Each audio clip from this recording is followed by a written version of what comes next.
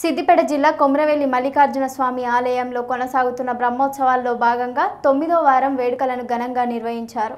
శనివారం సాయంత్రం నుండి భక్తులు అధిక సంఖ్యలో కొమరవెల్లి ఆలయానికి తరలివచ్చారు. మల్లన్నకు మొక్కుబడిగా తలనీలాలు సమర్పించి కోనేటిలో పుణ్యస్నానం ఆచరించి వడి బియ్యం సమర్పించి స్వామివారిని దర్శించుకుంటున్నారు.